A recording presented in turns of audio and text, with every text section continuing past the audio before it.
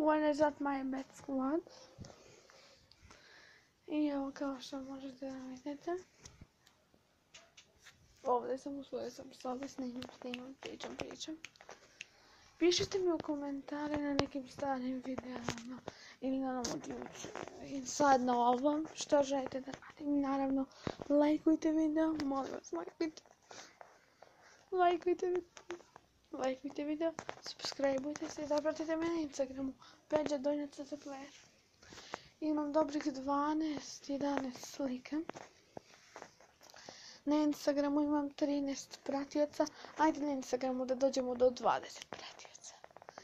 A na YouTubeu da dođemo do 10. Ako dođemo na Instagramu do 20 i na YouTubeu do 10, snimam pesmu.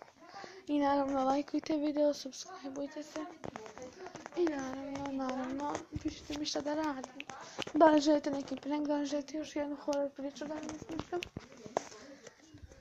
Da li želite možda... Možda kada budem... kada budem ovako...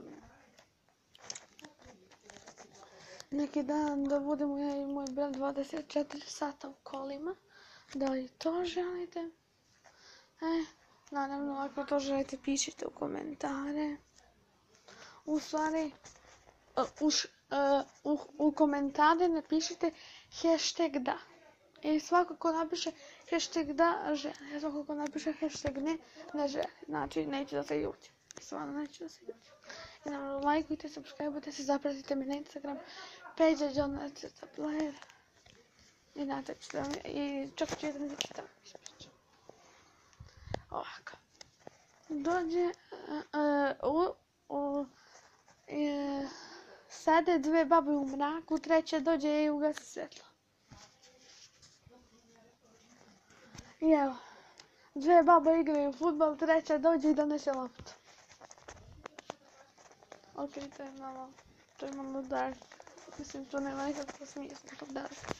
I naravno, kao i uvek, subscribe, like, komentari, Peče Donja Cuta Player Instagram imate i kao i uvek,